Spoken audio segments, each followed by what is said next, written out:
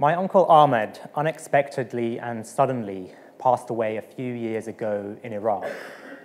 He had had a silent heart attack while at his granddaughter's wedding. He just fell asleep in his chair and didn't wake up. It was quite peaceful when you think about it. As sad as it was, it led me to think about the individual risk factors that contributed to his death. The usual suspects was he a smoker? Did he excessively drink alcohol? Was he physically inactive or overweight? Did he have any medical conditions that we were aware of?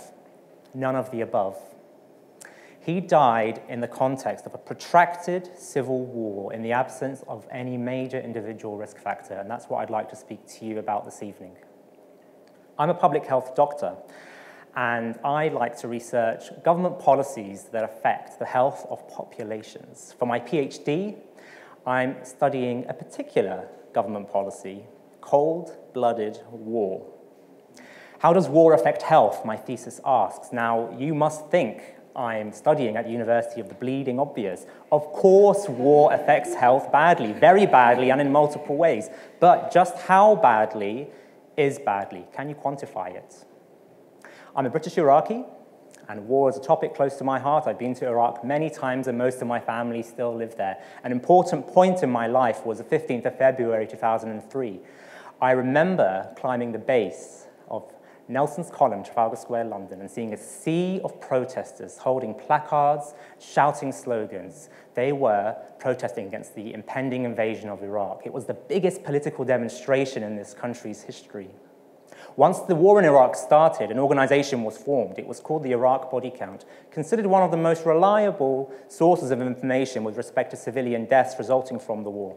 They took information from press releases, from NGO reports, and other sources. They validated it and estimated between 180,000 to 200,000 civilian deaths occurred in Iraq since the war started. Just pause for a second there. 180 to 200,000 people. That's equivalent to a small city in the UK like Southampton. Unfortunately, my cousin was one of those who passed away in the violence of Iraq. His name was Osama Amin Mustafa. He got on the bus one morning on the way to work and he was killed by a roadside bomb. He was only 30 years old. He left behind a young family. It was really tragic. But in every conflict I have studied, the number of non-violent deaths vastly outweighs the number of violent ones, even in the most brutal of wars. Take Iraq, for example. Half the doctors have left, countless hospitals are closed, and those that remain open are understaffed, have lack of medication, and are very helpless in preventing death in even the most basic of medical conditions, such as childbirth complications, such as diabetes complications, such as vaccine preventable diseases. Now, why stop at death? Even if you're not directly or indirectly killed by war, the chances are if you're living in a war situation, you're going to be directly affected by war. Disability, amputation, torture, rape, kidnap, violence, loss of employment, loss of school, schooling, forced displacement. The list goes on and it creates physical and mental scars for generations to come. I remember as a child, I climbed this 52 meter minaret in uh, a, a, city called Samarra, just north of Iraq. Beautiful mosque. And I was playing with my cousins and eating ice cream overlooking the Tigris Valley. Lovely memories.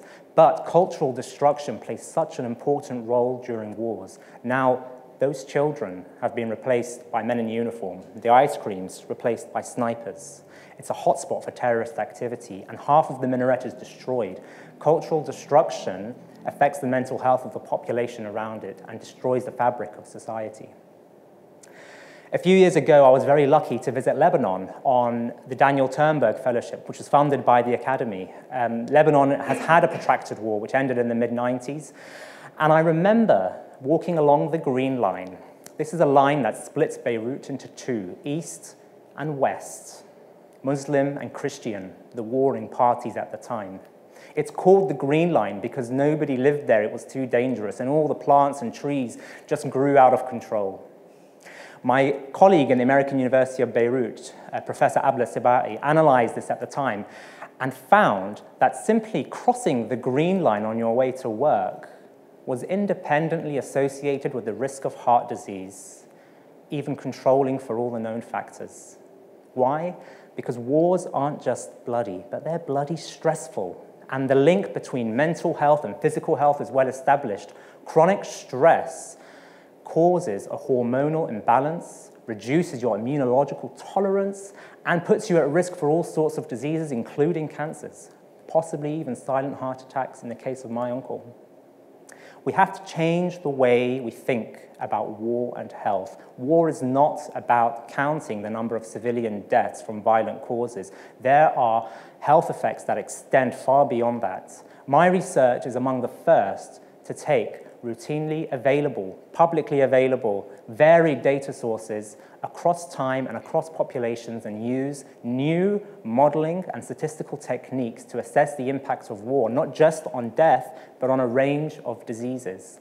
Some of the questions I ask is, is uh, include, does the type of war or the, the weapons used or the tactic used affect the health of the population exposed to it? It may not seem obvious, but during the 90s, in the Bosnia and Serbian wars of independence, tens of thousands of rounds of ammunition were used that um, had depleted uranium in the casings, and these were littered across the soil and water, and the increased risk of cancer was well studied there.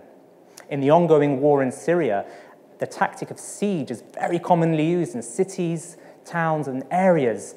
And yes, they're not being exposed to, to explosions or violence or threats, but just being calorie restricted has far-reaching health consequences. Siege affects those most in need of nutrients, adolescents, children, unborn fetuses. They're the ones who, who are affected the most. And we know from studies of the siege of Leningrad and the Dutch famine that the long-term consequences of siege are devastating.